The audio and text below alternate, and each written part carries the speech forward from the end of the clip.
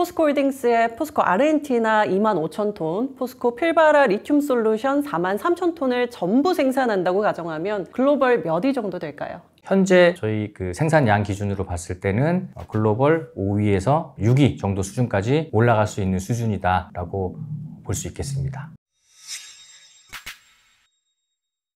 안녕하세요. 마켓토크에서 인사드립니다. 저는 한국경제TV 아나운서 노경현입니다. 마켓토크에서는 포스코의 7대 핵심 사업과 관련된 산업에 대해서 말씀드리고 있는데요. 오늘은 많은 분들이 관심을 갖고 계시는 글로벌 리튬 시장을 총정리하는 시간으로 준비해봤습니다. 여러분들께서 잘 알고 계시는 전문가를 모셨습니다. 포스코 경영연구원 박재범 수석연구원입니다. 안녕하세요. 네, 안녕하세요. 박재범입니다. 네, 오늘 타이틀이 조금 좀 거창합니다. 글로벌 리튬 시장 총정리인데요. 먼저 글로벌 리튬 시장 규모가 얼마나 되는지부터 여쭤보고 싶습니다. 최근에 또 리튬 가격이 워낙 변동성이 심하다 보니까 아무래도 금액을 기준으로 하기는 좀 어려울 것 같고요. 생산량을 기준으로 했을 때 몇만 톤 규모 정도 될까요? 통상 그렇듯이 리튬도 수요와 공급이 있는데요. 공급량 기준으로 말씀드리겠습니다. 지난해 글로벌 리튬 공급량은 약 96만 톤입니다. 이 중에서 이제 케미칼 그레이드의 리튬 같은 것들을 제외하고 battery grade의 탄산 리튬과 수산화 리튬의 공급량만 줄여서 말씀드리면 약 72%에 해당하는 69만 톤입니다. 69만 그러니까 톤이 생산량이자 이제 판매량이라고 볼 수 있겠습니다. 네, 사실 시청자분들이 보시기에는 감이 잘 안 오실 수도 있을 것 같습니다. 이 전기차를 기준으로 했을 때 몇만 대를 생산할 수 있는 양이라고 할 수 있을까요? 예, 이것도 뭐 기준을 어떻게 잡느냐에 따라 다를 수 있는데요. 전기차 한 대당 리튬 소요량을 45kg 으로 잡았을 경우에 지난해 공급량 기준으로 약 1,530만 대의 전기차를 생산할 수 있는 수치입니다. 올해는 공급량 기준으로 보면 더 늘어날 수 있겠죠. 네, 리튬 글로벌 시장으로 봤을 때는 아무래도 주요한 회사들이 있을 것 같은데요. 예를 들어 반도체 시장에서도 삼성전자나 SK 하이닉스 같은 회사들이 있잖아요. 전기차 시장이 성장하면서 리튬 회사들도 많이 주목을 받고 있습니다. 어떤 회사들이 있을까요? 예, 여러 가지 기준이 있을 수 있습니다. 뭐 기업 가치일 수도 있고 매출 기준이 될 수도 있고 뭐 생산 능력, 생산량 등에 따라서 이제 판단할 수 있을 텐데요. 저는 오늘 생산량 기준으로 말씀을 드리겠습니다. 지난해 생산량 기준으로 4개 기업을 추려볼 수 있는데요. 먼저 SQM, 앨버말, 간펑, 아르카디움 요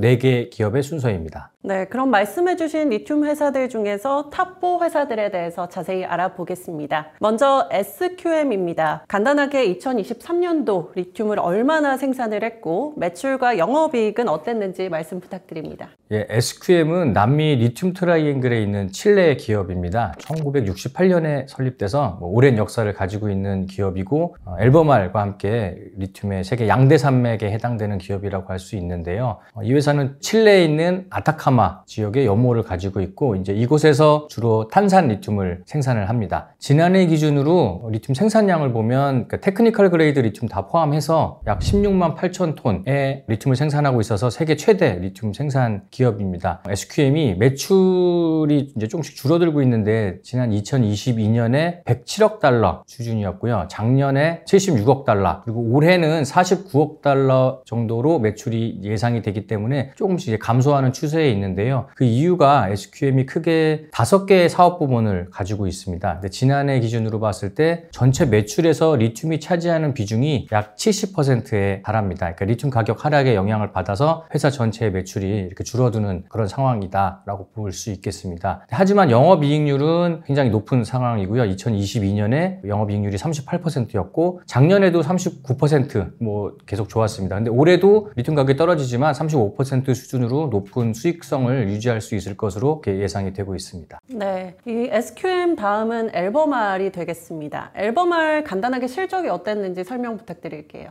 앨버말은 노스캐롤라이나에 본사를 둔 미국 기업입니다. 칠레, 호주, 미국 이렇게 3개 대륙에 걸쳐서 광석과 염호를 보유하고 있고요. 그 SQM과 함께 가장 대표적인 글로벌 리튬 기업입니다. 앨버말은 지난해 기준으로 13만 5천 톤의 리튬을 생산을 했습니다. 칠레 아타카마 지역의 염호를 규모를 가지고 있고 그 서호주하고 미국에도 광산을 보유하고 있는데요. 탄산 리튬하고 수산화 리튬을 골고루 이제 생산을 하고 있습니다. 지난 2021년 매출이 33억 달러 정도였는데요. 2023년에 매출이 95억 달러로 급증을 했습니다. 2년 만에 매출이 급증을 했고요. 올해 매출은 86억 달러 수준으로 예상이 됩니다. 앨범알은 그 리튬, 브로민, 촉매제 크게 이렇게 세 가지 사업부로 구성이 되어 있습니다. 근데 2021년까지만 하더라도 매출 비중이 이세개 사업 부분이 각각 비중이 한 4대 3대 3 정도였는데 리튬 가격이 급등하면서 전체 매출에서 리튬이 차지하는 비중이 지난해 약 70% 정도까지 이제 급증을 했습니다. 그래서 매출이 좀 증가를 했고요. 영업 이익률은 지난 2022년에 35% 정도 수준이었는데 작년에 2023년에 21%로 감소를 했고요. 올해는 14% 수준으로 좀 많이 떨어질 것으로 예상이 됩니다. 네, 말씀해 주신 것처럼 앨범알 같은 경우 영업이익이 많이 떨어졌습니다. 아무래도 리튬 가격 하락이 가장 큰 요인이라고 할 수 있겠죠. 예, 칠레 아타카마 지역은 생산 원가가 굉장히 낮습니다. 그래서 칠레 아타카마 지역에서 어느 정도 비중 생산 캐파를 가지고 있고 생산을 하느냐 이 부분이 굉장히 중요한데 앨범알은 아타카마 지역에 있는 업무에서 생산하는 비중이 50%가 채 되지 않습니다. 그래서 생산량의 비중이 다른 지역에 비해서 좀 낮다. 그리고 생산 원가가 높은 다른 프로젝트 다른 지역에서 생산하는 비중이 높은 상황이다 보니까 영업이익이 조금 영향을 받을 수 있고요. 그리고 상대적으로 고정 가격보다 이제 변동 가격으로 이렇게 계약을 체결한 물량이 조금 비중이 많은 것도 어, 영업이익률이 떨어진 그런 영향으로 어, 추정이 됩니다. 네, SQM에 이어 앨범알까지 알아봤고요. 다음은 감펑입니다. 이름을 들어보니까 중국 기업 같은데요. 네, 중국 기업이 맞습니다. 아르헨티나 카우차리 올라루주에 연모를 보유하고 있는 기업이고요. 탄산 리튬 그리고 수산화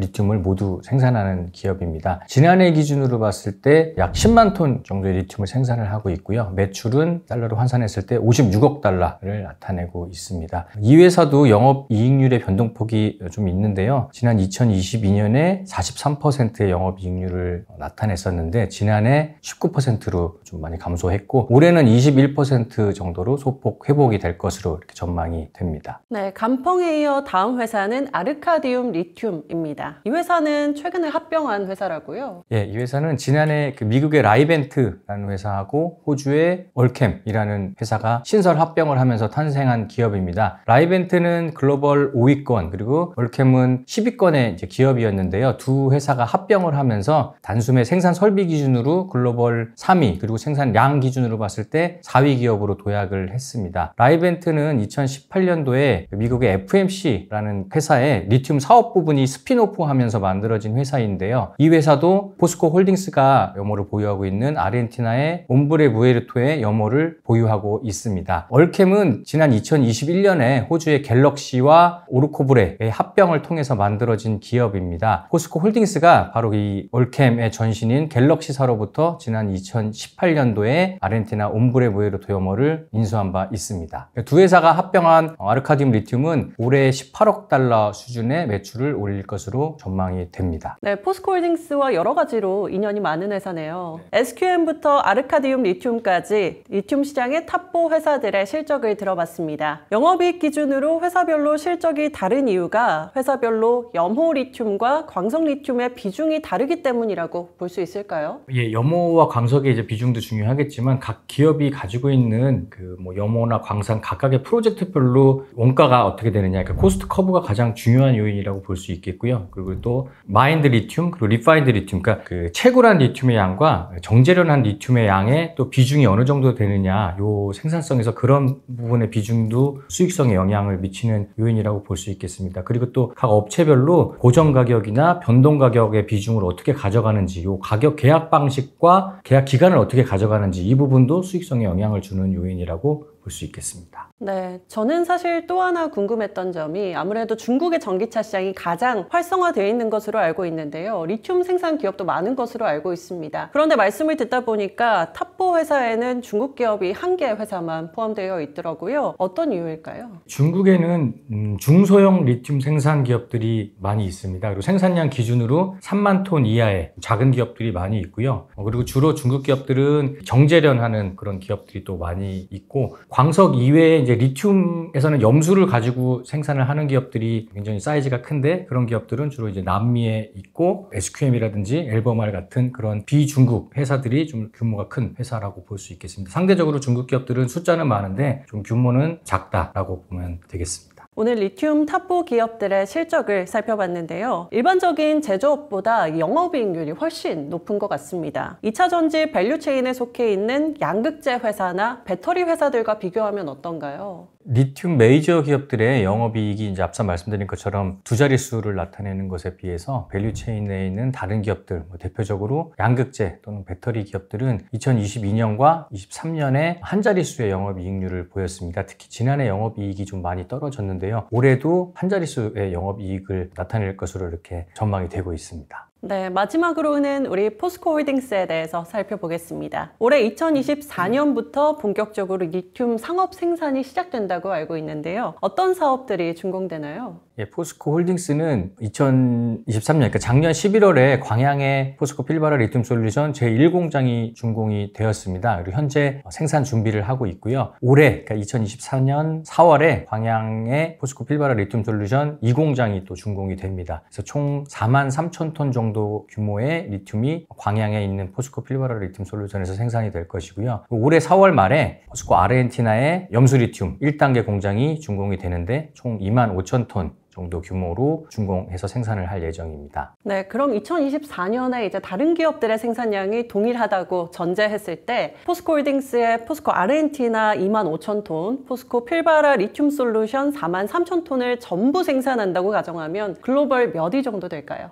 6만 8천 톤 기준으로 일단 봤을 때 2023년도 기준으로 생산 설비 기준으로 보면은 글로벌 7위 정도에 해당이 됩니다. 물론 다른 회사의 증설 속도 그리고 생산량, 포스코 홀딩스의 리튬 설비의 가동률이 어느 정도 되느냐에 따라 달라지겠지만 현재 저희 그 생산량 기준으로 봤을 때는 글로벌 5위에서 6위 정도 수준까지 올라갈 수 있는 수준이다라고 볼 수 있겠습니다. 네, 지금 추가로 짓고 있는 리튬 공장이 아르헨티나에 또 있잖아요. 포스코 홀딩스가 리튬 생산을 본격화해서 글로벌 시장에서 좋은 실적을 빨리 만들어냈으면 좋겠습니다. 좋은 설명 감사드립니다. 감사합니다. 오늘은 글로벌 리튬 시장에 대해서 살펴봤습니다. 다음 시간에도 많은 분들이 궁금해하실 만한 내용을 가지고 다시 찾아뵙겠습니다. 감사합니다.